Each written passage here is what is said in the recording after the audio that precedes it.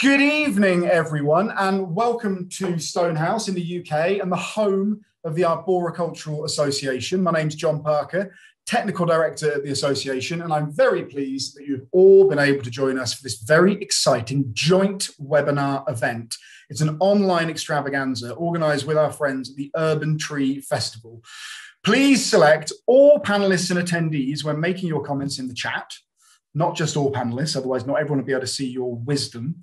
Uh, and uh, we look forward to seeing where you're all watching from. If you've got any questions for our speakers, then please put them in the Q&A panel and we will work through them at the end. This evening, we're delighted to be joined by two authors and tree people, Tracy Chevalier and John Drori. They'll be taking you on a journey through tree stories exploring heart, mind, and soul. We're very excited they're able to speak to us tonight, and uh, I've really been looking forward to this one, so it's all very exciting. Next week, tragic news. Next week, we won't be having a webinar. So you can use your free time between 6 p.m. and 8 p.m. to watch one you've missed before, or watch one again that you've already watched, or learn a new skill, or whatever it is you'd like to do in your free time.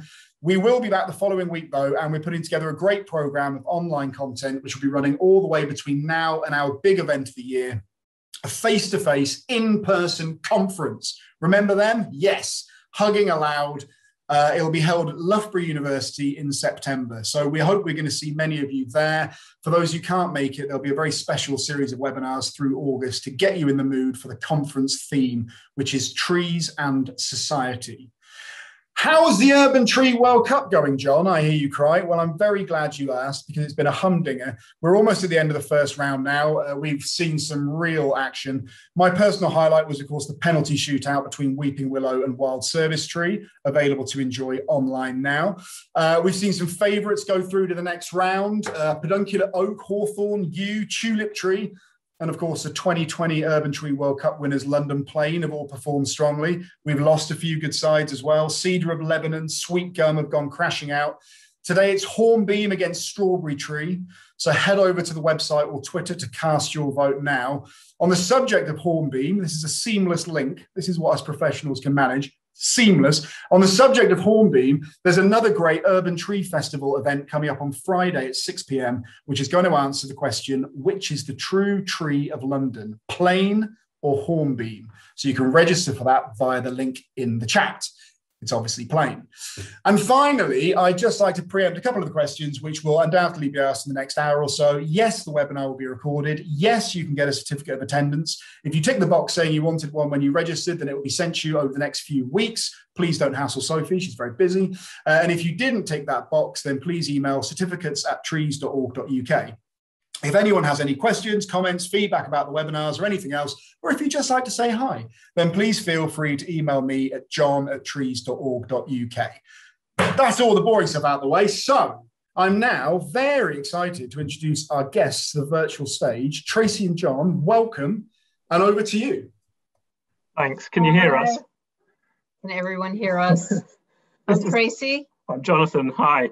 And we are actually from um, dialing in from Dorset. I know everybody's saying where they're from, and we're we're in a little um, area of Dorset called the Piddle Valley. Don't laugh. Yes, that's, that's uh, what it really is. That's Dorset, southwest England, uh, yes. rather than Cape Dorset in Canada or anywhere else. Um, uh, now, look, this is going to be uh, a lot less painful for all of us if you've got a glass in your hand or a mug, uh, depending what time of day you are. Uh, in the UK time zone, um, it's definitely wine time. Um, it's just going to be us talking uh, and reading. Uh, we might hold things up to the camera occasionally for you to look at. And the great thing is because we're in the same room together rather than on different screens, we can interrupt each other. And also we're husband and wife, um, so we tend to interrupt each other anyway. Don't we, dear? um, I think we should start talking about our childhood trees, don't you? Yes. And yes. maybe I'll go first.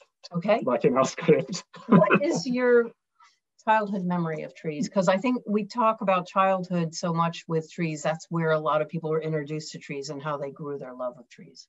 Yeah. So uh, if we're thinking of heart and soul, uh, it's a good place to start. So I remember um, you, you, you, mentioned John uh, about the cedar of Lebanon, Cedrus libani, Cedrus libani, um, crashing out of your um, uh, your your uh, uh, little game.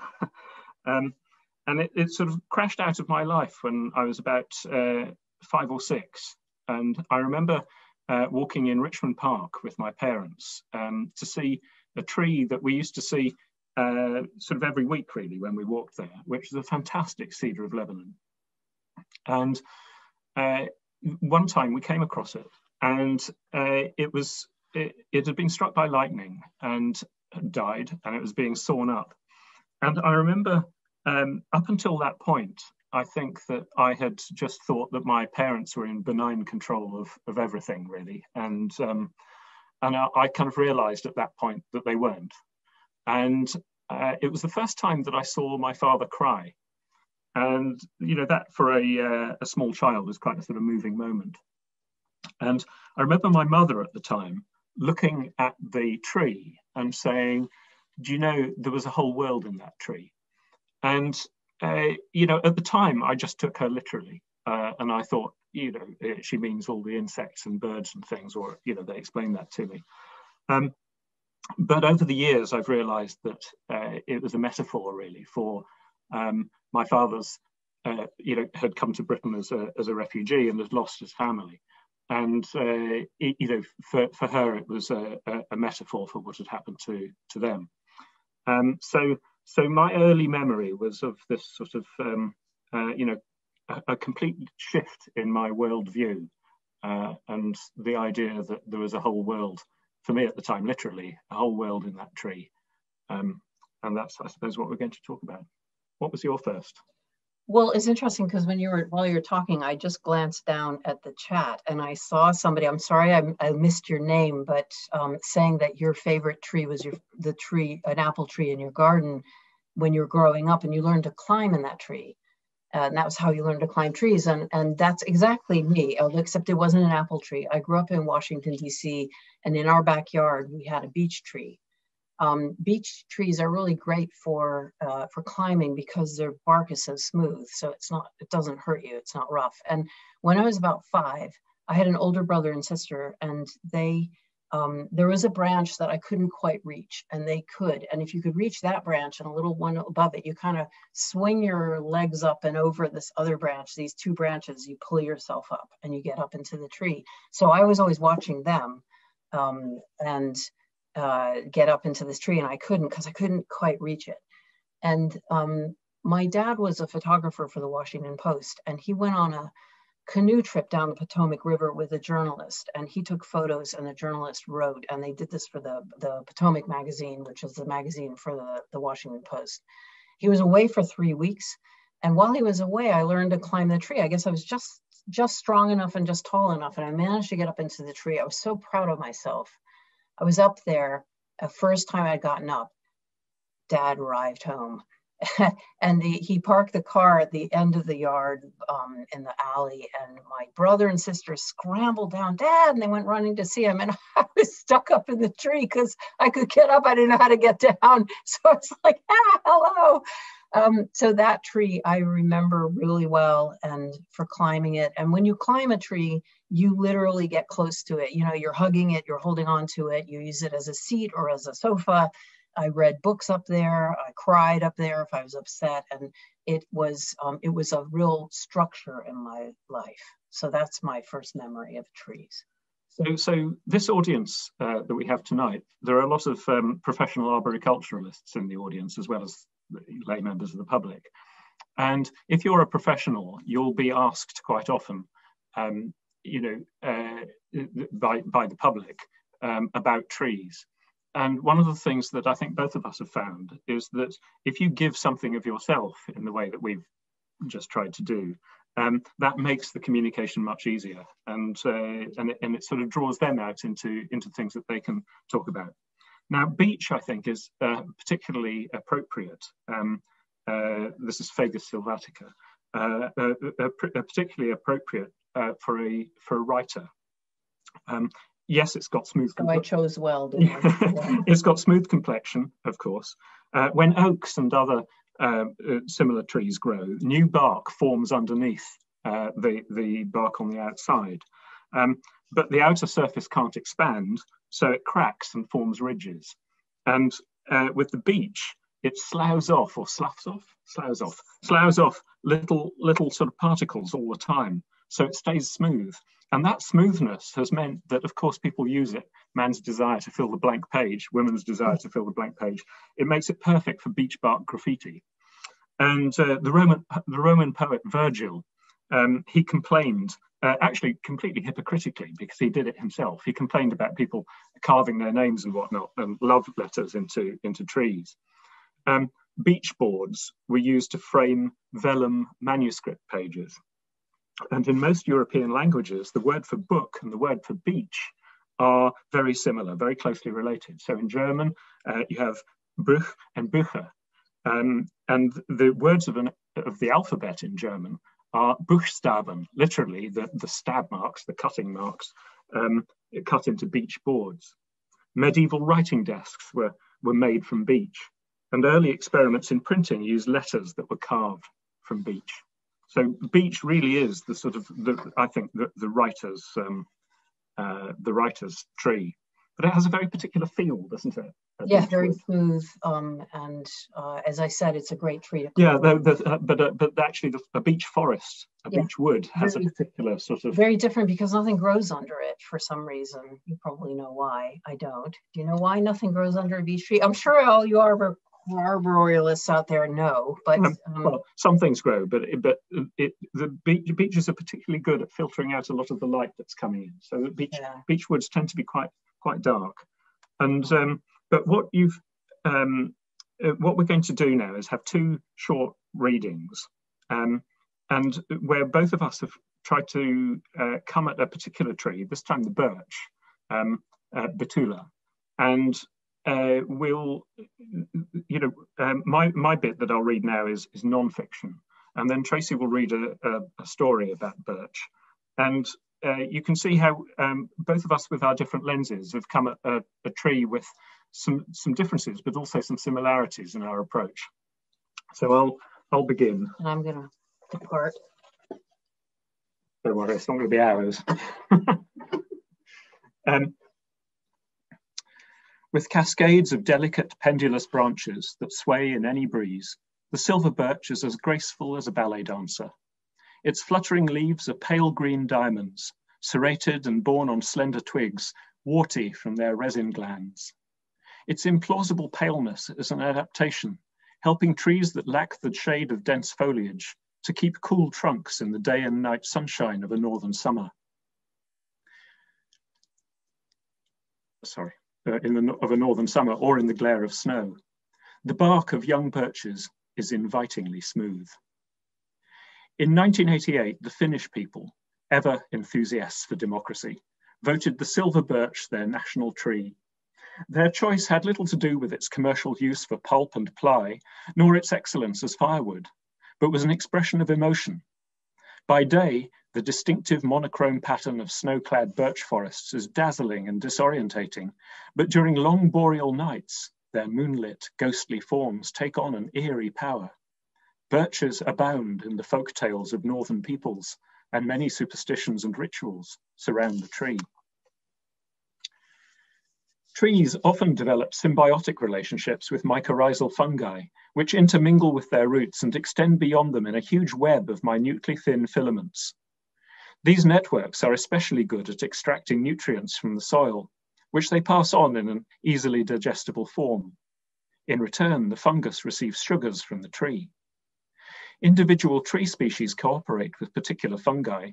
The birch's life partner is Amanita muscaria, the fly agaric, whose fruiting bodies, the parts we see above ground, are scarlet with white sprinkles, the archetypal toadstools of every fairy tale.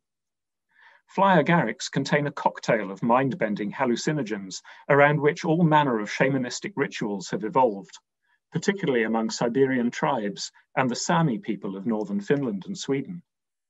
So far, so human. Many cultures have psychedelic traditions. However, the fly agaric's psychoactive ingredients are not completely broken down in the body, but excreted. This offers the enticing possibility of intoxication and a spot of social bonding by drinking the pre-drugged urine of others. Now it's true that northern nights are especially, especially long and the forests might have been lacking in other excitement. However, one can't help wondering whether this practice was really as widespread as the few historic travellers who seem to be the common source of all the shamanistic pee drinking stories were told and so eagerly reported. That's from Around the World in 80 Trees. I'll now hand over to Tracy for another view of the birch. I'm not sure I could top that. Everybody rush out and have a little drink. Yes, that'll be interesting. Okay. Um, years ago, John was on the board of the Woodland Trust, which is a UK charity um, which supports uh, replanting and protecting UK natives, uh, uh, woods and trees and planting, etc. And I got in, dragged in, and then very willingly dragged in to um, to help create a book about trees. And what I came up with was um, Why Willows Weep, Contemporary Tales from the Woods. So I asked um, a whole bunch of different UK writers to choose a UK native and write a short fable, just a couple of pages, about a particular tree. So what I'm going to do is read Why Birches Have Silver Bark, which is the one I wrote. Birch trees did not always have silver bark. There was a time when their trunks were the gray brown of most other trees. It was sex that changed things. It always does. Long ago, a girl grew up in a village surrounded by thick forests full of all sorts of trees elm, ash, beech, birch, oak, rowan, hawthorn, hornbeam. She loved trees and knew the forest well. Unfortunately, the girls were very strict and would not allow her to have a boyfriend. The men in the village were not good enough for her, they felt. The girl was less picky and more hormonal. One day she arranged to meet a man. Come to the ash grove north of the village at midnight, she whispered to him as they drew water from the village well. He nodded, too ashamed to admit he had no idea what an ash tree looked like. Instead, he crashed about in the woods for an hour before giving up and going home. He's too interested in football to care about me, the girl thought, and set her sights on another. Meet me at the stand of beech trees east of the village, she instructed as they were buying bread at the baker's. This man also knew more about sports than trees and didn't even get beyond the willows at the edge of the village before he turned back. The girl decided to make it as easy as possible for her next potential lover. Do you know the old oak that stands on its own in the middle of the woods to the south of the village? she said, as they waited for their flour to be ground at the village mill. Meet me there. Surely everyone knows what an oak looks like. But no, the man stood under a lone elm, wondering if its wood would make a good cricket bat. The girl waited under the oak tree and wept at the thought of dying a virgin. My parents are right, she sobbed. The village men are too stupid for me. She gave up on men then, until one day a stranger arrived. Not only was he handsome, but he also didn't care much about sports, turning down the chance to play five-a-side football or cricket on the village green. Instead, he wove the girl a daisy chain. She took this as a good sign and invited him to meet her, though she decided to test him on his tree knowledge. Only a tree-loving man would do. Meet me in the birch wood to the west of the village, she commanded. The man agreed. Unfortunately, however, he was from the city, where even fewer people know about trees. And being a man, he wouldn't admit he couldn't tell a birch from a beech. He simply trusted fate. If they were meant to be together, he would find her. Now, the birch trees had already had some of the other suitors stumble through them on their abortive rendezvous. So when the girl came to wait among them, they knew what might happen. Indeed, as it grew late and the man did not arrive, the girl began to weep.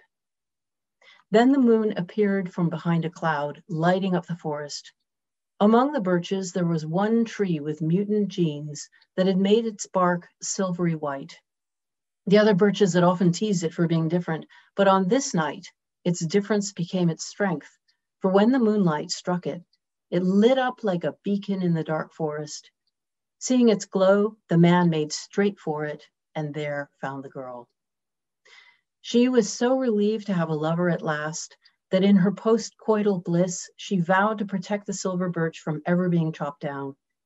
This protected status ensured not only its long life, but its propagation as well.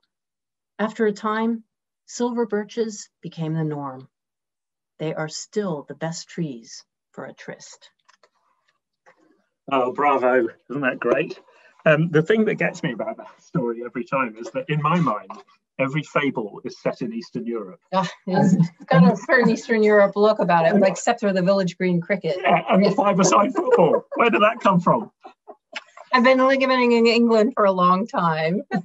but there is a very important word in that book, that fable, propagation. Propagation. Propagation. Excellent. We're going to talk about propagation. It's, it's almost as if that's a segue into something, isn't it? Almost. Um, it, it, so look, both both approaches that we've used there, we've tried to say something about our kind of human reactions to the tree, um, as, as well as everything else. So you know, one is clearly a story, and the other one, I hope, uh, kind of works as a story, albeit a non-fiction story. And it's the human aspects and uh, the the sort of emotional side that captures most audiences. Um, now, consider all of this from a tree's point of view. They're rooted to the spot um, they have to find uh, food and water, food being carbon dioxide from the air and water from, uh, from through the roots. They have to defend themselves against all those things that would come along and think that they are lunch. Um, and somehow they need to continue the line. They need to have babies. Um, and uh, they need to have those babies in such a way that they're not going to compete with the parent tree. So rooted to the spot, trees have lots of ways of kind of coping with this.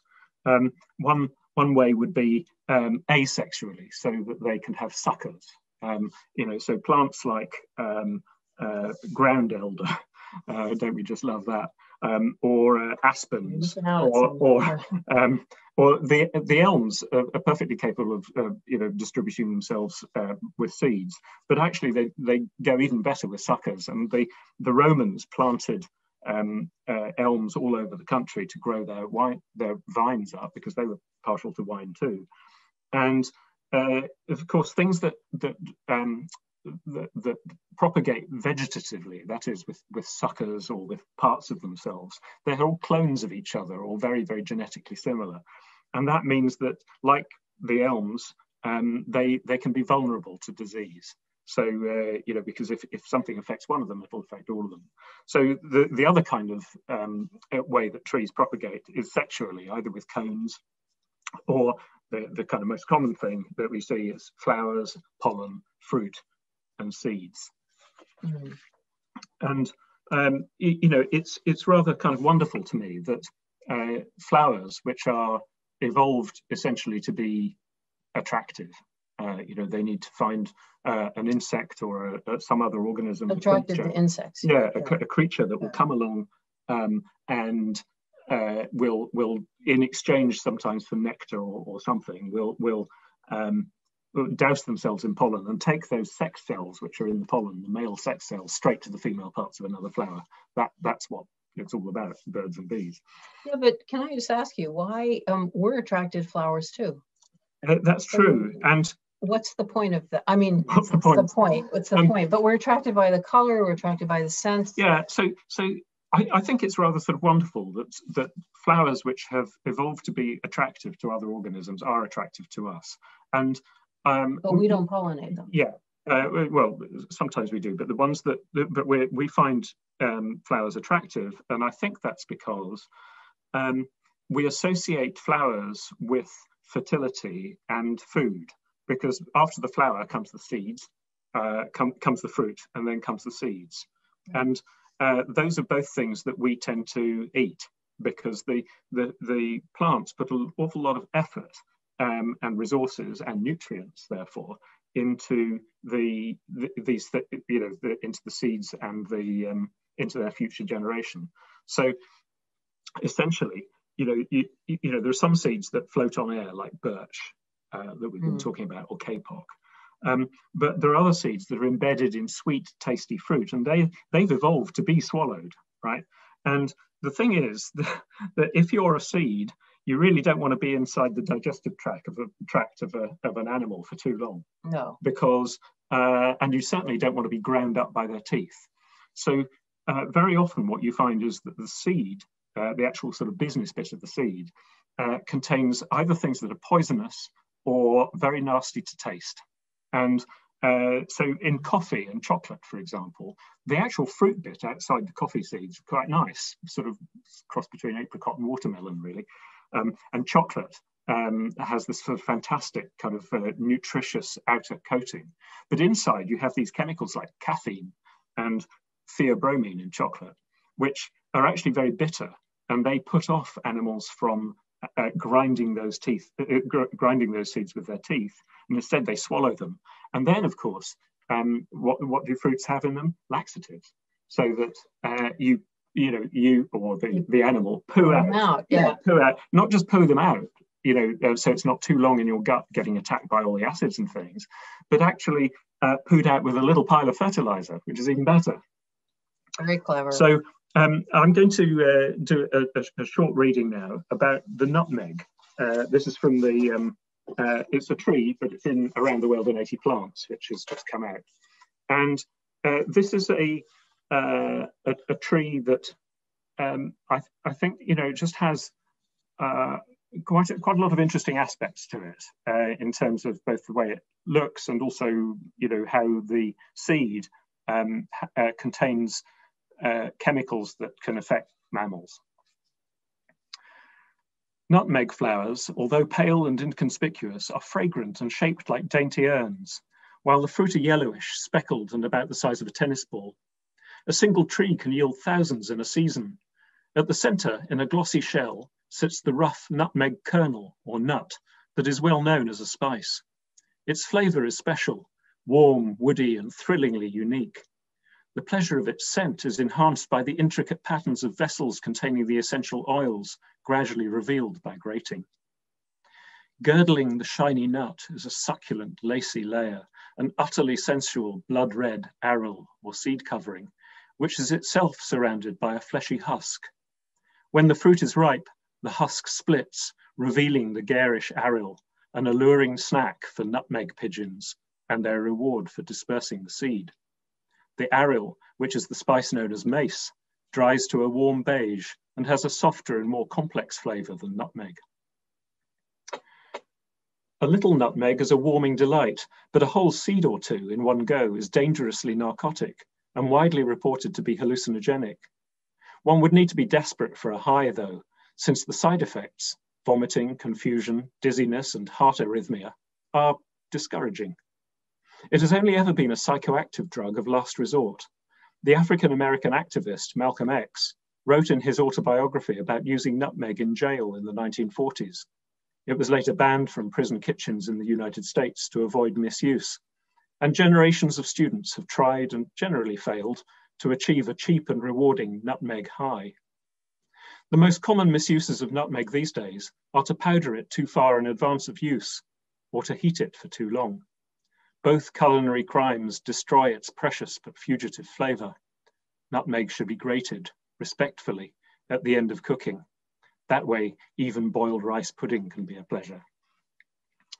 So interestingly, um, uh, nutmeg, uh, know, which wars were fought between the French, the Dutch, the British um, over, over nutmeg, and that, that's quite well known. Um, but perhaps less well known is that in 1667, the uh, the British gave up their right to um, the, the, island of Run, which is now in Indonesia. Um, the, uh, they gave up their, their claim on it to the uh, to the Dutch, um, and in return for monopoly nutmeg rights, they they swapped it for a little Dutch outpost in North America called Manhattan. So Manhattan was traded for monopoly nutmeg rights. Right. But what you're trying to say is don't try this at home, kids, the old nutmeg, because it has pretty bad effects. But yes. Um, and it, so um, a lot of fruits, as I mentioned, have these sort of things that discourage um, animals from eating, eating the seeds. And apples are a really good example of that. They uh, apple seeds can, uh, you know, they're bitter, they're unpleasant, and they're actually quite poisonous. If you, you know, there are people who've sort of chewed them as snacks and, and had pretty bad effects. There are cyanide type compounds in there um, to discourage things from eating them. And, uh, uh, you know, that leads us neatly on, doesn't it? Well, um, apples were apple trees were a big part of a, a novel I wrote called at the, at the Edge of the Orchard several years ago. And um, I got interested in it because of a, a, a, legendary man called Johnny Appleseed. Any Americans in the audience will know it, um, know him immediately. You learned about him at school. And he basically went through, his name, his real name was John Chapman, and he went through um, Ohio and Indiana in the early part of the 19th century, um, selling and planting apple trees, uh, selling uh, both saplings and also bags, handing out bags of seeds to settlers. Now, when people were uh, settling or moving west in the States, pioneers, um, when they moved to Ohio, if they wanted to claim land, uh, there was a requirement that they planted an orchard and um, they had to plant 50 trees, 50 fruit bearing trees within three years of settling. And this was uh, like putting your marker down saying, I'm staying. Um, and Johnny Appleseed was there as, in a way, as a businessman who brought uh, uh, trees west from, uh, he used to pick up all these seeds from um, a cider mill in Pittsburgh in Pennsylvania and then take them west. And he'd go around in his canoe on all these rivers and hand out saplings. And it was a way, it was, it was like a, he was a human dispersal agent. You know, he was, he was moving the, literally moving the seeds around in a way that, um, you know, you wouldn't have actually thought that's not what a tree normally does. It, uh, it grows the apple, the bird eats it, the bird poos it out away from the parent tree. And that's, that's how it propagates. But this was an actual person doing this with thousands, millions of trees. And um, so he was he became very well known, but he was um, he became well known after his death. Uh, he was kind of resurrected as a as a folk hero who who um, spread apples which are meant to be good for you. An apple a day keeps the doctor away. This was actually during Prohibition when um, uh, all the, the society ladies really didn't like the idea of what Johnny Appleseed was really doing, which in the 19th century, what he was planting seeds from apple trees. Now, if you plant a seed from an apple tree, only one in 10 chance of that tree becoming, uh, producing sweet apples. Most of the time it's gonna be sour apples and you can't eat sour apples. I mean, you can kind of cook them, but not that well. And um, what they were actually grown for in Ohio and Indiana and elsewhere was to make cider. Um, the water supply was terrible, and so people tended to drink. And life was hard, so they made um, they made apple cider that was alcoholic, became alcoholic, and they drank cider and they drank Applejack, which was a kind of brandy. Um, and uh, that was what John Chapman, Johnny Appleseed was doing. He was spreading the alcohol far and wide. And his reputation got kind of renovated and re- changed. Yes, cheers, everybody. It got kind of changed by these women who wanted to promote him as um, as it being something healthy. And I found this fascinating. And I thought, I don't want John Chapman or Johnny Appleseed to be the main character in the story, but I want him to be part of it and an important small part of it. Now, what he did was he planted seeds straight into the ground, and he didn't, um, most of the time, it pr- produced uh, what they called spitters. So, um, tree uh, apples you couldn't eat, you had to use to make cider. Um, if you wanted a sweet tree, you had to graft. So that's another way of uh, human propagation of apple trees. And grafting is when you take um, uh, an apple tree produces really nice sweet tasting apples. You love it. You cut a branch from it and you take the branch and you cut a, you take the rootstock from another tree and you stick it in there and you wind it all around. They used to put all this kind of mud and linen all around it. And if it took, after a few weeks, the sap rises up through the rootstock and goes into the tree. If it works, then you get an apple tree. And actually, every um, sweet producing apple tree or whatever you want. So every uh, golden delicious apple that you had have came from one tree. It's basically cloning. Um, and uh, every Bramley apple you've cooked with comes from a tree in Nottinghamshire. If there's anybody here from Nottinghamshire, I salute you because you have got an amazing tree in a, in a cottage that's still there um, being looked after uh, in a cottage garden. So there are particular trees, specific trees that all the other trees have come from. And I found this really fascinating. And I just thought I would read a short section um, about grafting. So uh, at the edge of the orchard is, uh, this is the American cover. There's lots of different covers, but um, at, the, uh, at the edge of the orchard is about a pioneer family who move west from Connecticut, from the coast, um, into Ohio. They want more land. They want to see if they can make a living, and they end up in this place called the Black Swamp, which is really horrible. And um, it's the last part of Ohio to be um, to be settled. Uh, and James Good, the, the family's called the Goodenoughs, and James Goodenough is really obsessed with trees, and he's brought apple trees from Connecticut, and he's grafting them um, to make an orchard. And I'm just going to read to you a very short section between him and his son, Robert, who's about nine, I think. Where do those golden pippins come from? James quizzed his son, Robert. Connecticut. And before that, England. Your grandparents brought over branches of their favorite apple tree. Where in England? Robert stared at his father with his unsettling eyes and shook his head. He was not the kind of boy to bluff if he didn't know. James was glad of his honesty. Herefordshire. Now, tomorrow we'll graft. Go and check the grafting clay, make sure it hasn't dried out. If it needs a little, add a, add a little water and stir it in. Robert nodded. You know what you're looking for? You don't need, need me to check it with you? I'm all right, Pa. Robert trudged off towards the river, picking up a wooden bucket as he went.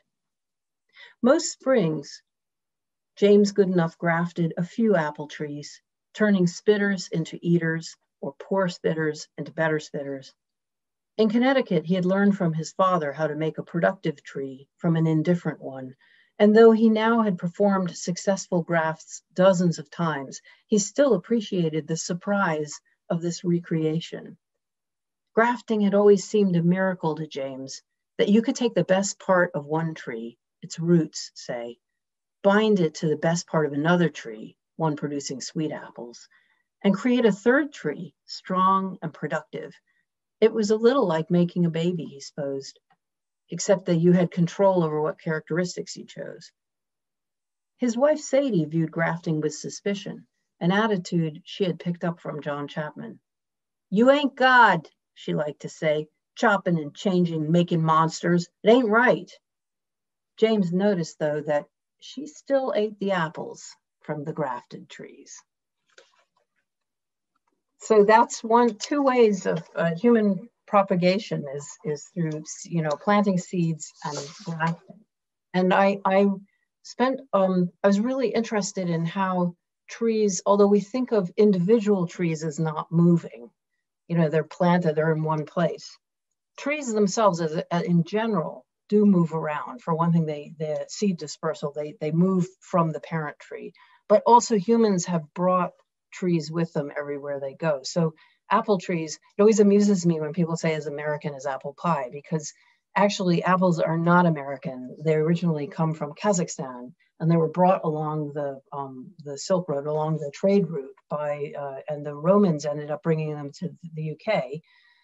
And then British settlers brought them to America. So that's, that was their, so they're, they're immigrants just the way we are, just the way you and I are, and uh, and everybody. We all move around, and so do trees, and actually so do plants as well. I really like the idea of um, there having been this rule that uh, you know, in order to claim a bit of land, you've got to plant some trees on it. And I, I kind of wish that um, you know any sort of developers who who buy land, um, you know, as part of the deal uh, in owning land, you had to uh, um, plant things on it. Um, uh, you know, the right kind of things, obviously. Um, well, there's something about that that is is really about looking to the future, and it's not necessarily for yourself, but for for your uh, for the future generations. Yeah, I mean the danger is that people who sort of put up buildings will be saying they're thinking of the future, but uh, I want them to think about the future in the way that I think about the future. um, many trees have been moved by uh, humans uh, an awful long way from their native native range. So uh, apples, as we've heard from uh, from Kazakhstan.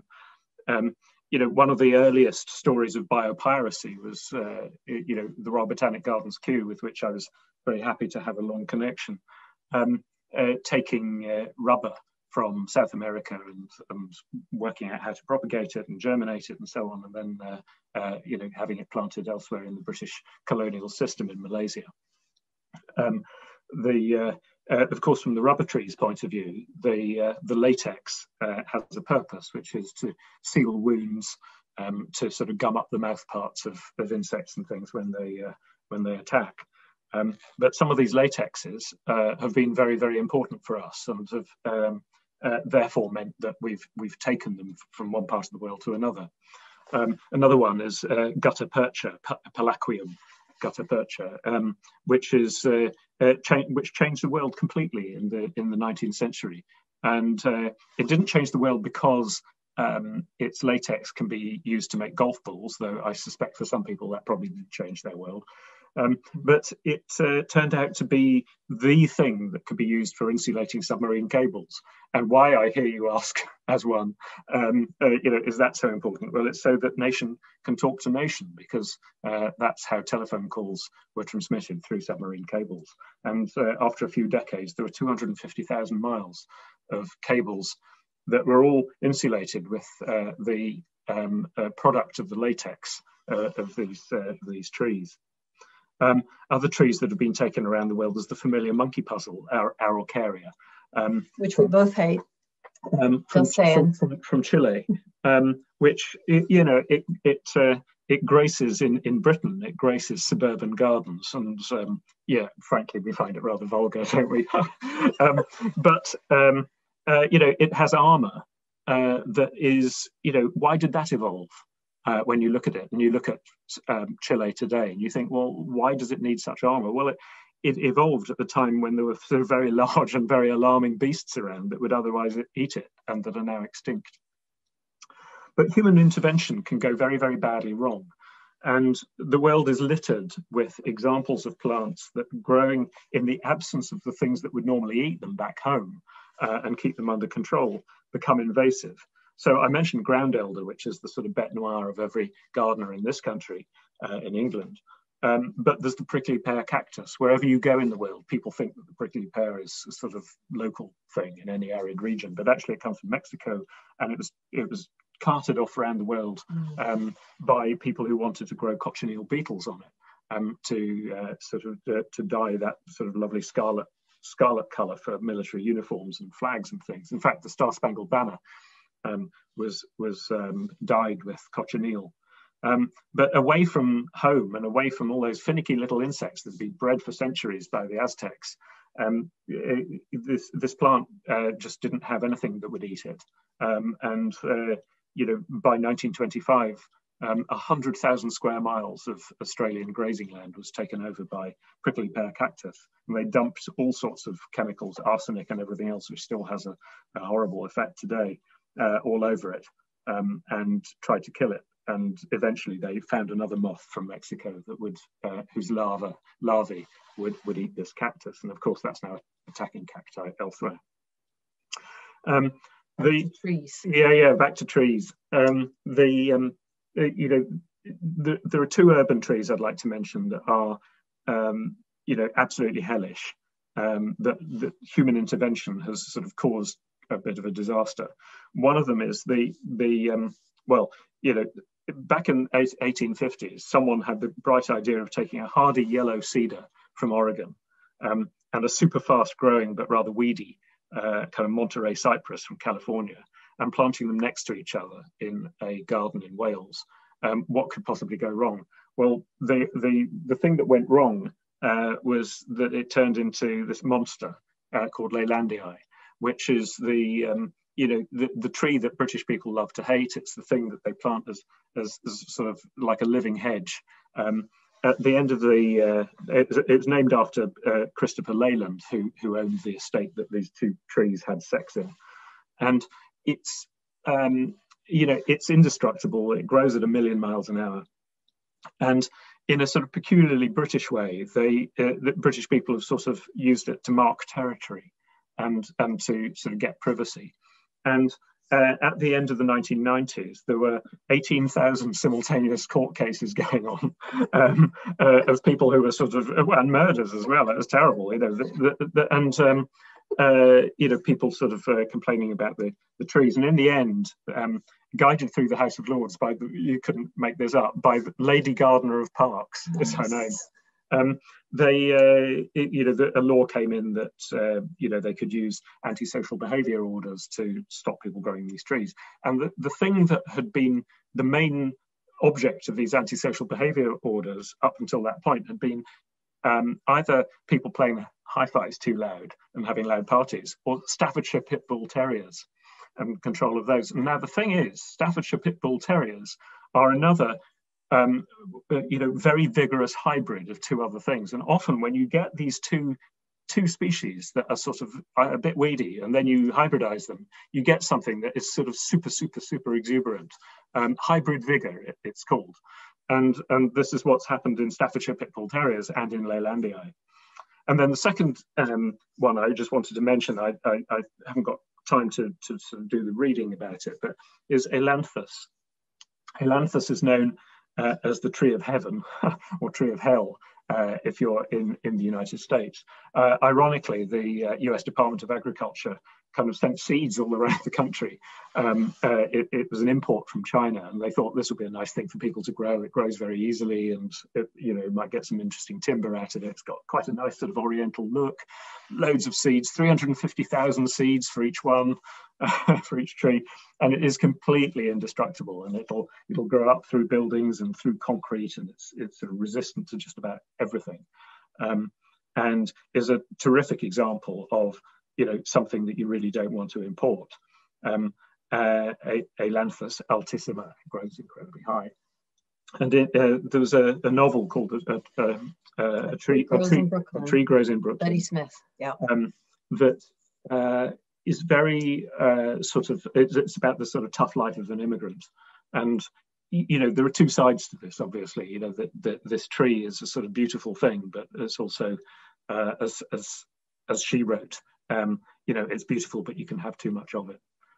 and uh, uh, she, um, uh, you know, th th this is one of the things you need to sort of think about when you bring in, um, you know, species, plant species from from other places. Mm.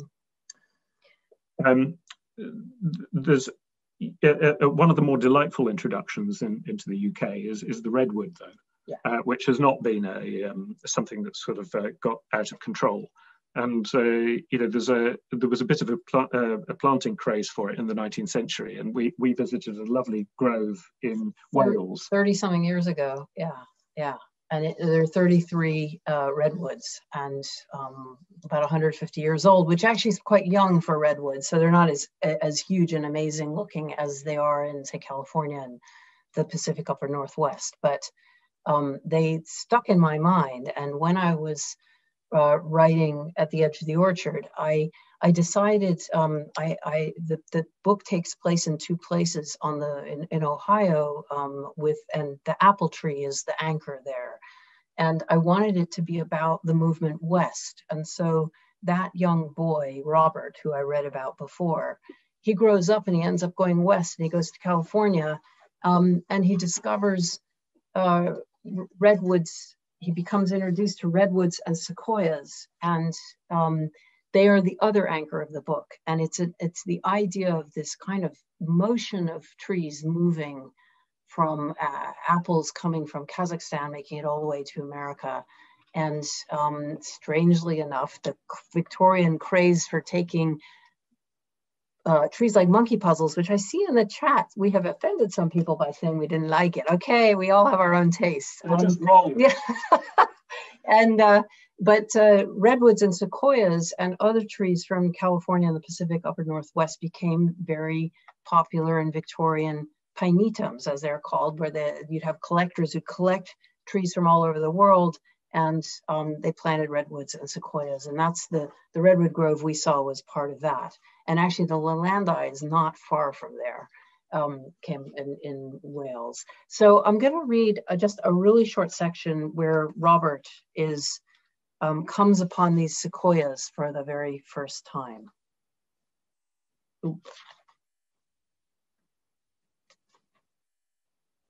Okay. When Robert arrived at the edge of Calaveras Grove, he dismounted and stood, hand on his horse's neck anchoring him. In his travels, he had seen many things that had given him an ache deep in his chest, like a splinter of sadness needling into his heart. Prairie that swept far out of sight, a tornado cycling across the gray green horizon, snow covered mountaintops that hung overhead like white triangles. Now he was seeing another. Two enormous trees stood on either side of the track, a natural entrance to the wood beyond. They were not as tall as redwoods Robert had seen on the coast, but they were much wider, as wide at their bases as a cabin. They dwarfed a person with their girth and the volume of wood they thrust towards the sky. If you stood far enough back to take in the whole of the trees, you didn't feel how enormous they were. If you came up close, though, you couldn't see their lowest branches. Robert left the horse and walked up the path, feeling as he did that he was shrinking into a speck beside the two trees. He put a hand on one to steady himself. The tawny red surface was spongy and thickly fissured. A fibrous bark that shed easily and turned into red dust, Robert later found in his clothes and his hair, under his fingernails, in his saddlebags. The forest floor around the trees was thick and springy with thousands of years of rotting needles, muffling his steps. And it was quiet, for there were no branches anywhere near him to rustle in the wind. Branches only started to grow from about a 100 feet up, and the bulk of them were so high over his head that it strained his neck to look at them for long. Robert had no words for the odd, hollowed out feeling that swelled inside him.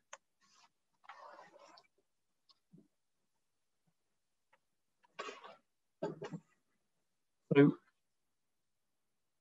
one of the things that um, I, in your writing you tend not to do, uh, though you did in the Birch, is to sort of anthropomorphize.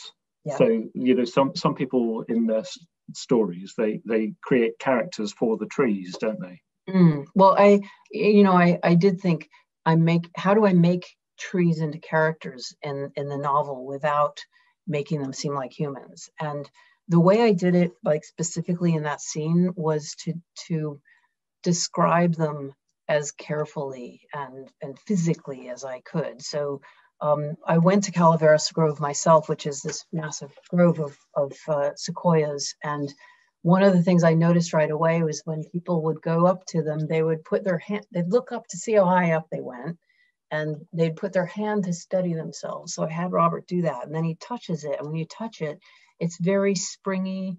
It's um, there's all this red dust that comes off, and and I found it hours later, just the way Robert does in my under my fingernails, my clothes, and I wouldn't have known that until I had uh, I had gone there and done the research. So you always got to do the research, and and the springiness of the ground around it, which is of these compacted needles from thousands of years, and all of those things I think are really important to build up a picture of the tree as a tree. I want to keep trees trees, not make them into people. Except in the birch story. Except in the birch story, where I did do, um, I did change it. I, I made it, but but fables and fairy tales um, often anthropomorphize either animals or plants, um, and it's it's a way in a in a way of drawing humans in, drawing us in. I think it's also a way to um, you know, perhaps it used to be a way to kind of bring nature under control. I think um, uh, fairy tales often uh, dealt with quite difficult themes. And you know the deep dark forest, which would have you know been a very different place in the time before yeah, electricity. And, and and so on. Um, you know, I, I think this was a way of sort of helping uh, children at first, perhaps, but you know everyone to kind of deal with with the the sort of control over over nature. One of the um, uh, plants that I absolutely love, I realise we're running a bit short of time. So um, is is this? Uh, it's all right. I'm not going to read. So you, just stay where you are. Um, but the darling, uh, but the uh, this uh, you can see uh, another one of Lucille's fantastic illustrations. This is the moodjar. Um, or I mean, Nuytsia floribunda for, for botanists there, but with the Western Australian Christmas tree. And this has a very sort of intentional kind of feel to it because this tree will seek out, um, uh, it, it's a hemiparasite, so it does photosynthesize, but it, it, will seek out uh, the roots of other trees. It's got hydraulic secateurs. It plugs itself into uh, other plants and draws off uh, water and nutrients. And uh, um, it, the way it, uh, it seeks out those plants is because it, the roots can sense various plant hormones and things. Um, and uh, so, it, here's here's the crazy thing that the some of these plant hormones are also present in plastics. Um, so the, the, plastic insulation of buried telephone wires in Australia, in Western Australia, is a prime target for um, uh, for the, for this Western Australian Christmas tree, and it comes along and it severs severs um, uh, these telephone wires, which I think is a lovely way of nature getting its own back. Um, that sort of uh, pleases me, but it's only a, a, a hop and a skip, isn't it, from anthropomorphizing to superstition. And I can imagine that in this audience, where there are a lot of scientists and arboriculturalists, that there's a sort of mixed feelings about superstition. Um, I certainly have mixed feelings because, you know, superstition can be incredibly valuable, uh, as in, say, uh, Madagascar, where the superstition that one's ancestors live, it, the soul of one's ancestors is present in the baobabs, means that the baobabs um, have survived. And so that's a kind of good superstition. But then, of course, you know, we've got all sorts of other kind of pseudoscience going on with climate change denial and all kinds of other things, which we're not so happy with. It's a very difficult balance. Mm, yes, it is. It is. You know, I think because we're running short on time, we should probably leave that, leave it there. except, well, except I think that we, um, uh, since we're not going to anthropomorphize trees, but we what if we treeify ourselves? So if you were going to be what's your favorite tree? If you're going to be a tree what tree would you be? Um, uh, I, I would be uh, the Aloidendron dichotoma, um, which is uh, this sort of here's this glorious um, picture. Uh, that that's that's the aloe, which you know, aloe vera. Um, on this side, but this this is the tree, the Aloidendron dichotoma, which is the quiver tree. It's called that because the San people of Namibia um, have used the hollow branches for keeping arrows in. And the reason I love that tree, uh, and if I was a tree, that's the tree I would be, is, is not because it thrives in the middle of a desert um, and is fantastically resilient. Um, you know how clever, uh, which it is. Uh, but um, for two reasons. One, it's the national tree of Namibia, which means that everyone smiles at it when they see it. It's like driving a Morris Minor. Um, and the second reason is that it's got this kind of funny waxy coating that makes you want to touch it. The waxy coating is there to protect itself from ultraviolet light, probably. Um, but the idea of being a tree that people smile at and want to stroke, I think I'd like to be the quiver tree of Namibia. what about you, dear? I would like to be a Copper Beech. Um, I because I grew up with a beech that I that I uh, climbed. I have a real fondness for beeches, but Copper Beech is. Um, I only really got to know them when I moved to England 30 something years ago, and although I'm sure they have them in the states, but I, I associate them with the countryside here, and I tend to. I like to think of uh, my my my American life was a green beech, and my my British life is Copper Beech. so that's why be. So I think at that on that note, shall we uh, open it up, throw it open to questions and I, comments from you? I think I think it's a good idea. Um, time flies, doesn't it? Sure does. Thank you very much, both. I was going to say you could keep going for as long as you like. By the way, there's absolutely no uh, there's no uh, time limit for you two at all. It's great.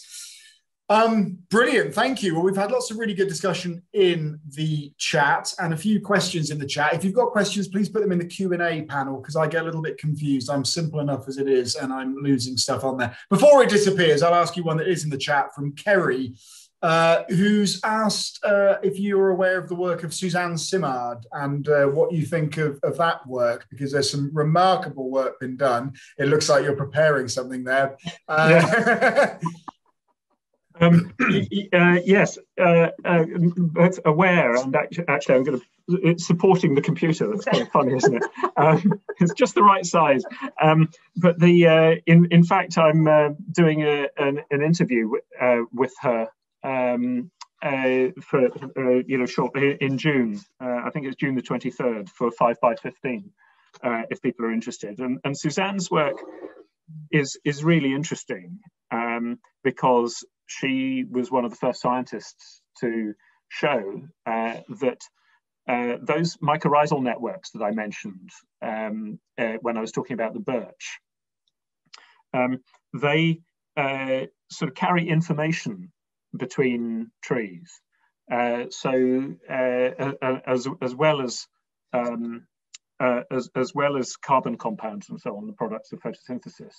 Uh, so these fungal networks plug themselves into the roots of different trees, and you know if a tree is under attack, then uh, it's been shown that you know through the network, um, you know other trees that are kind of part of that fungal network can uh, essentially be triggered to uh, make defense chemicals and to uh, you know to defend themselves, and that the at the beginning of the um, season uh, you know, when the deciduous trees aren't really photosynthesizing very well, um, conifers can, uh, you know, have the products of photosynthesis, the, the sort of these carbon compounds and sugars and so on, uh, effectively transmitted through these networks. Um, uh, to, to, the deciduous trees, and at the other end of the summer, it works the other way. So it isn't quite all dog eat dog as, as people used to sort of think in, in, in forests. And one of the interesting things about her, her work is that one of the questions I'm asked most frequently, actually, after um, uh, any, any, any talk about trees, and I suspect that a lot of the audience here are the same, is people want to know about sentience. They want to know if trees are intelligent. And I think we have to be really careful um, about extrapolating this kind of information transfer into intelligence because you know information is transmitted between computers, for example, that aren't necessarily intelligent. They've been sort of evolved or programmed to do that. And uh, in you know ascribing intentionality to trees, I think is quite a, a, sort of a difficult thing to do. Now, Suzanne doesn't do that in, in her book, but I think one of the things to be aware aware of is that a lot of the audience really, really, really want to believe that trees are intelligent. And you know, define intelligence, right? But uh, if you know that people have a particular sort of um, misconception, perhaps, about science and about what, what we know and don't know about trees, then one has to be a bit careful about what misconceptions you inadvertently reinforce. So uh, fantastic work there, and it's the great book, Suzanne Simard's book, Finding the Mother Tree. And somebody in the chat said that they think it's being made into a film, and yes, yes, it, it is. is. Yeah. yeah which is great to have a, a, a book about a, a, film about trees. Well, it's it, it, uh, the film will really be about her life yeah. uh, because she she grew up as a logger, um, mm-hmm. a, a, logging family, and, and sort of um, you know poacher turned uh, gamekeeper turned poacher, or the other way around, right. or whatever it is. Yeah. Next question. to say it's interesting as well. I think huge respect to Suzanne because um, she sort of started saying a lot of these things when everyone was like, that's crazy talk. That can't be true. And then now it's kind of not quite mainstream, maybe, but it's certainly getting there. And uh, she was out there right in front. Yeah, and she used, you know, proper tech, you know, sort of scientific techniques, you know, sort of, uh, yeah. you know, uh, so uh, radioactive markers for molecules mm-hmm. to see what exactly what molecules had gone where in a forest, so you could see, you know, exactly the root of everything. You know, I mean, she, you know, she did prop- proper work. Yeah. Mm-hmm. And somebody in the chat just said one of the um, characters in, in Richard Powers' The Overstory is based on her life, which is, yes, great book. Yeah. Yeah, very, very good book. Highly recommended. I suppose on that theme, uh, another question in from Catherine asking whether or not you could expand on the relationship of trees and fungus and the mycelium network that helps trees communicate with each other. I would say that there's whole webinars we've done about fungal networks and mycelium that you're more than welcome to watch. Drop us an email. But I don't know, uh, Tracy, Jonathan, if you've got any thoughts on uh, it's on the same themes we've just discussed, really, but the importance yeah. perhaps of mycelium. Um, I, I, think it's the uh, it, it is the same theme, and uh, you know I would just point you at well the work of, of the Arboricultural Association actually you know is is, is really good in this regard. Um, it, you know it, it's I think one of the interesting ways of looking at this is um, you know, at first we look at everything from our point of view, don't we? We look at it through a human lens and we think that, you know, trees must be acting like us. Um, uh, we anthropomorphize. And then the next stage from that is to say, oh, no, no, no, no. Um, the trees are, you know, helping, have evolved to, to, for the good of the community of trees or the forest as a whole.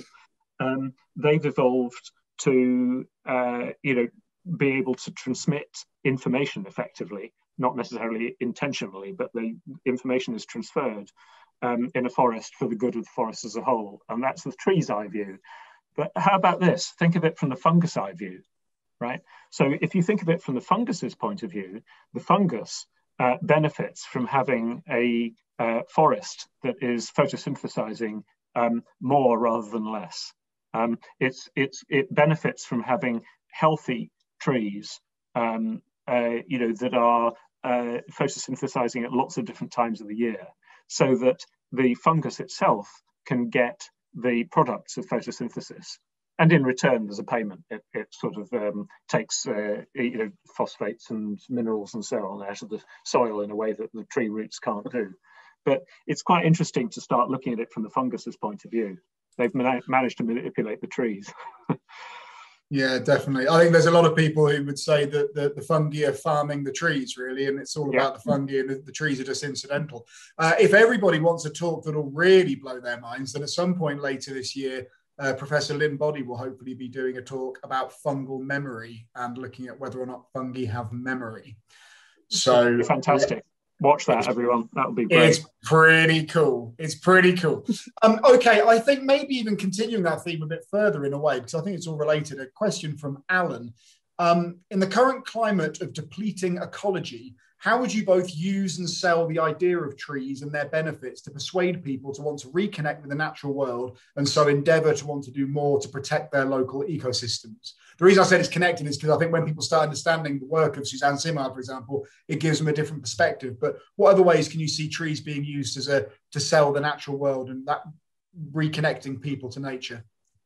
It's, um, I mean, I think what what we've been emphasizing tonight is is the is the tell, telling stories and and the stories that trees that we can tell about them. But I I think another way of um, of of going at it is, in a way, what we started this talk out is what are our favorite trees is from our childhood. It's it it often starts there, and I think you know it's it's a I suppose it's an obvious answer. I'm sorry, I'm not being more creative, but but it starts with your kids and it starts in school. Um, if if it's if it's not starting with your family, then it's starting with with tree planting and tree playing. Actually, we I think we don't let our kids play enough. You know, you have to. When I was a kid, everybody climbed trees, and now it's a sort of anomaly to, to climb trees. And I, I think that it's important to let kids loose and let them go up them. And if they fall and break an arm, they do. But you know, it doesn't happen very often. So mostly, it should be um, it should be real crucial interaction, I think. And I think actually a lot of that happened during the pandemic. We were um, we were in London and uh, during the first lockdown. Um, and we live near Hampstead Heath, and we went for a walk every day, as did everybody else. We were all desperate to get out. And I just noticed so many more kids climbing trees and I'm really being there. And I think that makes a huge difference to your life. I, I think the key is, um, uh, you know, the, the danger is that uh, professional arboriculturalists and scientists um, see the world through a, a scientific lens. And the way that we persuade each other of things is by, um, you know, in the way that you, you persuade people to have a vaccine, say, is, is by saying, look how effective it is, look how little risk there is. Uh, you know, these are very measurable things. Um, but a large part of the world doesn't operate that way. Um, they operate on a, um, a much more emotional level.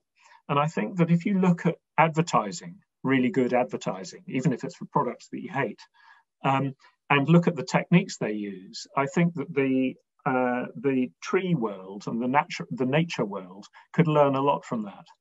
So one of the things that I, I kind of cons- consistently sort of moan about is the fact that a lot of the um, the oil industry, the fossil fuel industry, um, they they speak with a very coherent voice. Um, I mean, it's not a voice that I particularly like to hear at the moment. Uh, the, the, messages that they're putting out, which I feel are, are, a lot of greenwash, but but they they do speak with a very coherent, clear voice. Whereas the environmental movement is very split between different organizations that all have their own different sort of angles, which are all important, you know, but um, you know, one of the things that we know in communication is to just sort of keep keep saying the same thing over and over again, very, very loud, um, and and simplify and simplify, which of course scientists um, find very difficult to do because you always want to make it accurate and have the caveats and so on. And the other bit is, is the emotional connection. So what we're both trying to do in our different ways is to uh, create an emotional connection between people and the environment, which will mean that people uh, want to then care. And if people care, then they, they will protect. Absolutely. Good answers, both. Thank you. Um, Tracy, just picking up on your point, perhaps, there's a, a question came in uh, from Andrew about what do you feel would be the most effective way to broaden the interest in trees amongst the younger generations? Well, you're completely right when you said it starts with childhood and children climbing trees, learning about trees, and then carrying that love through their life. But how do we go about actually engaging the younger generation? Well, I think one way of doing it is uh, getting a kid to plant a tree and plant it when they're relatively young so that they follow its progress um, as it grows and they grow. Uh, so they go back and visit it every year or, or, or they plant it in, if they have a green space near them that they can plant it in, something that they can see every day. And that, that feeling of um, lengthening, you know, kids have a tendency to be very in the moment and it's, it's hard for them to um, to understand that a tree that they plant now is going to be how big it's going to be in 50 years time. But they can see how, how much it grows in a year's time. And i think that that having um, looking after it and and feeling responsible for it gives them uh, more of a connection. Yeah and i think you know the woodland trust does a lot of that a lot of tree planting with school children. And i think what's really important about that is not just the planting the tree but going back with the same class two years later to see how they've done you know and maybe the kid remembers they take a picture so they can remember which tree they planted and did it survive or not? Because a lot of times they don't but sometimes they do and it's you know i think that that kind of um, nurturing makes a big difference. Mm-hmm. I'm, I'm very glad you said that tracy we always we always say a lot of this at the arb association all of these um, tree planting targets are wonderful. Of course we all want trees to go in the ground but there's no point planting trees if you're not going to maintain them, make sure they're established, look after them for the long term. And I think getting children not just to plant trees, but then to go back and check how they're doing uh, is, yeah. is a really important message. I mean, I, the the government has has talked about this new uh, tree planting scheme, the Queens for the Queen's Platinum Jubilee, and that's that's great. But I think it's also really important. It's actually quite hard to plant a tree. You know, we we've been given trees before, and we don't have that much space, and to get the right place is really important. And I think it's also important to you don't just plant trees anywhere you plant them where um, you know one of the things the woodland trust is trying to do is is to connect up different green uh, bits to make green highways for for the natural world for the for the animals to be able to move along. And so to, so when you can connect that up rather than just having a clump here clump there it really makes a difference like an exponential difference rather than just the trees themselves it's other things get affected as well. So i think it needs to be done um, with thought and care and responsibly Absolutely. And uh, Gillo's just said in the chat, accessibility to trees is so important. And that's always been true, but hopefully it's been brought home to more people over this last year, the pandemic. You know, there's some people have more access to trees and green space than others, and that's something that needs to be uh, addressed as well. We've got we've got quite a few questions in. If we you're all right to go on for a little bit longer, we just yeah, we're, we're, we're okay if, if you are. Yeah. Uh, well, we're I, am more than happy, and we've got more than what we got 142 people still watching. So I think everybody's uh, everybody's happy, um, and lots of people sharing their recommendations for tree books in the chat as well, which is yes. I'm just writing so them down. You can uh, you can request a copy of the chat later, so you can still concentrate on the Tracy yeah. and John's answers. Okay, let's have a if you want a sort of existential question, it's always good to turn to Mr. Anthony Mills, and he hasn't disappointed this evening. Anthony says, for a world that is increasingly secular, do you think the extended life of trees and their larger than human life stature provides an avenue for the expression of spirituality and an extension of life beyond our own into a greater ecosystem? Anthony, uh, I love you. Anthony, you're, you're come and have a drink with us, Anthony. I think Anthony is leading the witness. Uh, would you, would you agree that? Uh, would you think? My Lord. Yeah, yeah. I, this is what Anthony does every week. I've got to tell Anthony, you. well done. Well, bless you, Anthony. I, I, I, don't think we've met, but I, I want to meet you now. Um, I, I think that, uh, you know, what, what, if I can paraphrase what I think you're saying, is that human beings need to understand that we're not the only thing around um, and that there might be something sort of bigger than us and more important than us. Um, and I couldn't agree more. Anthony, my answer to you is that um, I tend to write historical novels and people ask me why history is important. And the way I look at it is you can actually apply to trees too as well. Um, we, we, especially when we're kids and when we're growing up, we are, we tend to live in the moment and we think about the, we think about the, the moment we're living in and maybe a bit about the future, what we're gonna do. And I feel like as you get a little bit older, you start to appreciate instead of you go from being the one dimensional in the in the moment to thinking ahead. So that gives you a little second dimension there. But um, if you really want to be a full rounded person, you look back too, because it it gives you perspective and it gives you um, it makes you not the dot or the line but actually well it could be an extended line but you could line out that way instead of straight and you um, it makes you into a more rounded person where you actually understand have a better grasp of where uh, of how how small we are as individuals which is actually can be a relief. Rather than thinking you're the center of the universe you're not. And um, and it's great to step off the center stage and to and to acknowledge our ancestors and where we've come from. It makes you feel incredibly there. And and trees do that by you know as i said before you plant a tree and you don't you know so many people plant trees too close to their properties their houses because they just don't think about what it's going to be like in 50 years and how it's too close so all these trees are having to be taken down because of that you know you have to think ahead and and to be forced to think back, like the tree has lived so much longer than you, way before you, and it's going to live way beyond you. And I just think that's that's. Um, I wouldn't go so far as to say it's religious or spiritual, as you're kind of implying, Anthony, but I would um, definitely say it makes us better people. I, I, would go as far as to say it's spiritual, but the um, uh, one of the things which is, I suspect, not the way you intended this uh, bit of conversation to go. Uh, there's an interesting tree of Cameroon um, and Gabon uh, in West Africa called the iboga. And one of the uh, ways that the tree is used is that the roots contain a, uh, a sort of mind altering substance um, that, in the context of the Bwiti culture, um, makes people feel that they are connected to their ancestors and to their heirs. And uh, you know, it's it's partly because of the mind-altering substance, and partly because of the context in which it's taken. Um, but that same uh, plant is actually being turned into uh, a sort of a, a, chemical that can be used to wean people off heroin addiction in, in the West. But um, uh, I suspect that's probably not what the uh, what you were intending with your question. I think an, another interesting side of that is something that you talked about earlier on, John, about the sort of um, the quantification of benefits of trees and how that's very useful to be able to quantify the benefits, but that you can't essentially quantify everything. I think when you're talking about superstition and stuff as well, and that that idea of uh, a sort of a spiritual experience, it's very hard to put a monetary value on how you feel when you stand in front of a 2,000 year old yew tree. There's, you can't put a value on that. There is a, a sort of super, super danger um, that many others have commented on uh, in different fields that you know you, you measure the things that are easy to measure and then those are the things that become important because they're easy to measure and people have them in spreadsheets and all of that. You know and you can see successive governments uh, of different colors doing this all the time all over the world. You can see how we've done that with our education system.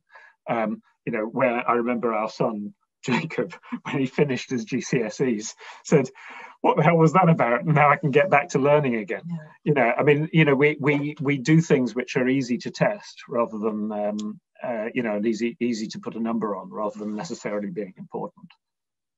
Yeah, yeah, and I mean, I, I was I was I'm going in a slightly different direction from that, but but um, it's easy to measure how many trees you've planted less easy to measure how many trees you've saved. And I think we, we tend to forget that, um, you know, if you're talking about carbon sequestration, it's a, a, large mature tree takes in much more per year than a little sapling.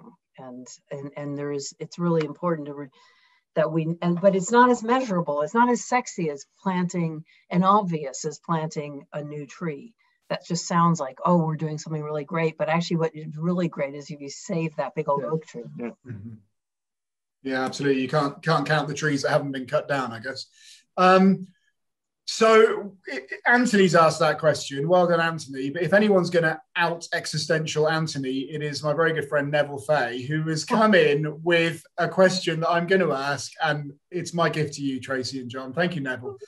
Neville says, "Could we have had conceptual thought without our relationship to the tree? Which came first? um, uh, if you like Anthony, you'll love Neville. Well, uh, there, there is a way of taking your question, Neville, um, which is absolutely literally, and therefore I will because that that gets us sort of off the hook. Um, and it, you know, human humankind, um, you know, could we have survived without the products of trees? Uh, and got to you know sort of uh, got got to the stage of evolution that, that we're at. Um, uh, debate, but there are, you know, we, we've, in order to grow as a civilization, we've had to domesticate a whole lot of things, including, uh, including a bunch of grasses. Um, uh, what are the trees uh, given us? You know, a whole load of medicines, a whole load of, uh, you know, fruits and nuts and vegetables and, I mean, and, and um, things that we eat, clothing. Um, I, I, know this is not what you intended, but I'm thinking that uh, without the tree species, um, we might have we might have just about got off the ground. Uh, been a, uh, been a, a, lot harder. But we don't know because the trees were here before we were. And so we all we came into the world with them there already. And so we've adapted to that what so it's it's impossible. Neville you're just naughty. You're just naughty. That's just a crazy, crazy he is naughty. knowing neville i suspect he's also thinking about and sorry to put words in your mouth now but i'm thinking that uh, if to early humans trees would have been the longest living things that they would have seen. And i suppose maybe the length of the length the time span in which a tree is alive and unchanging may have then given some benchmark to well, human development or lifespans. yeah maybe. Though um, you know i mean it does amaze me that uh, you know the the kind of measurements that that you know apparently illiterate people managed to do on astronomy.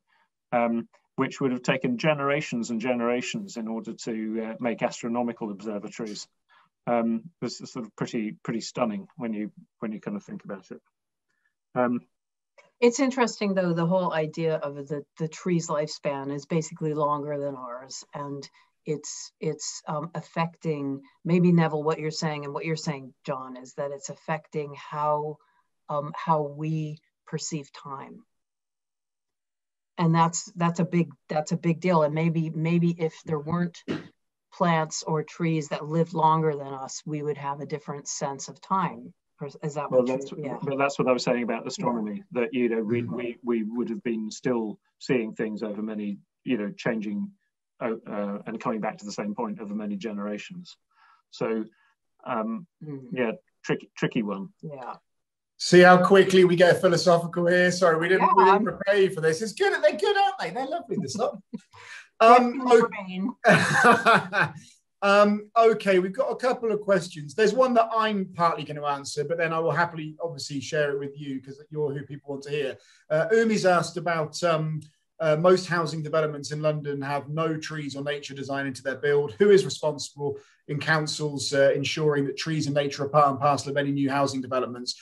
The reason I said I'd answer is purely because I think everybody needs to give huge kudos to the tree officer, uh, who is the person employed by local authorities to look after public trees and to sort of uh, oversee tree preservation orders and the like. And tree officers are fantastic people. They're hugely under resourced. They need more support and more attention and more respect. They're the custodians of our urban trees, and they're generally brilliant. So I would say that it's those people who are largely responsible, Umi, but they don't always have the resources to do what they know they need to do and what they want to do. So that's my answer. Tracy and John, I don't know if you've got any thoughts on Umi's question. A couple of things I, I would add is, you know, one, I, I would, um, you know, just harking back to Johnny Appleseed, you know, I, I would try and ensure that uh, tree planting um, uh, and tree custodianship is part of any new development. Um, but also, I would uh, make sure that there is some part of the budget that is held back until the trees are established. And uh, you know, you see too many architects' drawings of beautiful sort of trees all planted around new developments, and somehow they never seem to quite happen that way. And so, um, you know, the, there should be an artist's impression, and then that's compared five years later, and then you release the rest of the money. I think the other thing is that it, it's um, you can say, well, the government should be doing this, the government should be doing that, but actually, the, another way into it is is to train architects and designers to um, to automatically think that uh, planting trees is as important and essential to to their plan uh, as as the buildings or the the plumbing, the sewage, whatever. Um, that that trees should just be automatically a part of that, and maybe that comes down to training in architectural schools. The, the, the difficulty with that is that um, you know architects and planners are employed by someone, and uh, you know you, I think the um, you know it needs to follow the money actually. So of course they need to be um, you know sort of educated in that way, but I think many of them are um, you know, the architects and planners that I speak to seem to have that knowledge. But uh, you know, if everything's down to a price and people get permission to go ahead on the basis of uh, designs which are cheaper, then you know, unfortunately, that wins out. Whereas if there were really strong financial incentives, um, uh, it, both incentives and disincentives to, to, sort of operate in the wrong way, um, you know, that would, uh, you know, that would be helpful. Absolutely. Okay, look, we've got a couple of minutes left, and we've got two more questions I reckon we'll squeeze in. One of them's a really nice one that I think I'll, I'll sort of aim at Tracy first because I think this was typed when you were uh, talking about propagation and um, apples and, and, Johnny Appleseed and cuttings and the like. And Thomas has asked a question that I really like. Would you say stories are a good way to propagate trees? yeah they're a good way to propagate the ideas of trees. They don't literally propagate trees, but sure. I mean, if you could imagine somehow impregnating books with uh, with seeds, and that you have to plant them that way, that would be. But no, I, I think definitely um, uh, trees. That I think that's what this whole evening, in some ways, is about. Is is we're both storytellers. We're just coming at it from fiction and nonfiction, but those those um, that line is really blurred. I mean, I I do a lot of research. John does tons of research, and I do a lot of research for my book. So I, re, I you know I tried to be as accurate as I could, although the people are made up. Certainly, the the the botany in in in at the edge of the orchard is not made up, and uh, so in that way, I think definitely uh, stories can can really um, teach us a lot about trees. Yeah, yeah. I mean, you, well, you said it. I mean, that's why we're here. Um, they that um, human beings are sort of pattern recognizing organisms, um, and in, in, you know you you could see that really what we're doing is transmitting patterns from one generation to the next in our DNA. But we ourselves recognize patterns even when there are none. Um, so give people a pattern, in other words, a story, um, stories have a pattern to them or a series of patterns to them. People recognize those and then start caring. And so, um, yes, I would say that stories are a terrific way of propagating trees. And I, my my sort of piece of advice, um, uh, and and it comes from a, a lot of you know trial and error, a lot of error, and uh, a, a, lot of sort of quite humiliating research when I discovered what people were thinking of my television programs when I used to make them and, and, and what worked and what didn't, is that, um, you know, as scientists, you're often trained not to make things personal. You're usually told to write in passive language and to, um, you know, be dispassionate in every way. Um, but actually, what changes minds is is the heart and the soul. Lovely answers. Thank you very much. Well, let, us follow on from that into our last question. Again, a seamless link. And, and the last question is one that we, we often ask, uh, uh, well, we always ask our webinar presenters. It's our 45th webinar now, I think, 46th. And uh, we've, uh, we've had lots of great answers, but it seems even more appropriate than normal to ask it to our guests this evening. What is your favorite tree related book? Tracy, you go first. Funny enough, I happen to have a prepared answer. Um, my favorite tree book is The Man Who Planted Trees by Jean Giono. Um, it was written, uh, Giono was a, a, novelist. We worked in a bank and then he wrote novels. And he wrote this, um, it's basically a fable about um, uh, a, a, man, he, he, this man comes across this shepherd who is uh, every day goes out and plants 100 trees, 100 oak trees, acorns, and um, uh, in an area of southern France that's really barren. And nobody thinks they're going to grow. And then um, the, the, the narrator comes back 10 years later after World War One, and he sees this kind of gray haze on the hills, and it's the it's the oak trees. Uh, he, the guy plants 10,000 trees, and they're um, not all of them have survived, but a lot of them have, and they're they're growing and they're 10 years old. And then and now he's moved on to beech and birch, and he's he plants and he he completely changes the ecology of the area because water comes back and people come back, and it's um, it's about so really I mean it's not a true story. Everybody thought it was true.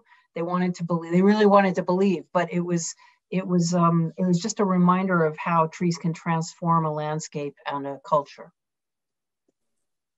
Thanks, so, um, Tracy.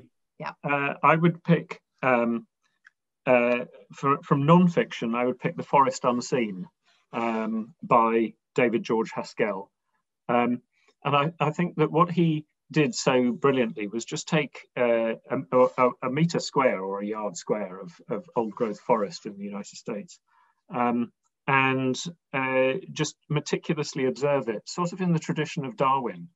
Um, and just uh, extrapolate from his observations uh, in all sorts of interesting directions. Um, and, and so I, I, would say that that is uh, my favorite um, uh, non-fiction book. And then for fiction, uh, I would actually pick um, uh, Arto Paasilinna's book, Year of the Hare, um, which is about someone living in a forest for a year, hare, H-A-R-E um, which is a sort of absolutely charming and enchanting uh, book from Finland. And I never realized that the Finnish have quite such a sense of finely tuned irony. Um, it's, it's, a sort of absolutely wonderful, uh, wonderful read. Great choice. I should say that the year of the hare, H A I R, is probably nowhere near as interesting. That don't, no, nobody, nobody go. Don't waste your time reading that one. There's some great answers. Thank you. I should say, John, as well, just to put you on the spot. I think this is the first time we've had the author of a book that was selected as another presenter's favorite tree book because a few weeks ago one of our presenters said around the world in 80 trees as their favorite book. So there you go. So fantastic. who, who, was that? I wouldn't possibly name and shame who it was. You'll have to watch all the webinars and find out who it was. Oh, oh bless her or him. Thank you. Yeah. Um, well look thank you, uh, Tracy, John. That was absolutely brilliant. It was a really special webinar. Wonderful to be a part of. Thank you both so much. We really, really enjoyed it. Uh, Sophie's actually just sent you a link to a, a, little catch up afterwards. So have a look at that if you so desire. Um, and thank you to everyone watching. You're all wonderful. Great questions, great discussions. We really appreciate you coming. Um, I'd just like to stress again, you know, we do our webinars every week. This is a special joint event between the Arboriculture Association and the Urban Tree Festival. Please check out all of the other stuff the Urban Tree Festival is doing. They're doing some great stuff. Um, it's all online on their website, so please go and check it out. Join in the Urban Tree World Cup. Of course, you're all desperate to do it. Every day there's a game between now and the finals, the first week of June, I think. So get involved with that. And um, other than that, thank you both. Thank you, Sophie, for doing all the hard work behind the scenes. Thank you to our audience, and thank hopefully you. see you very soon. Thank you. We Bye-bye. love you all. We love you all.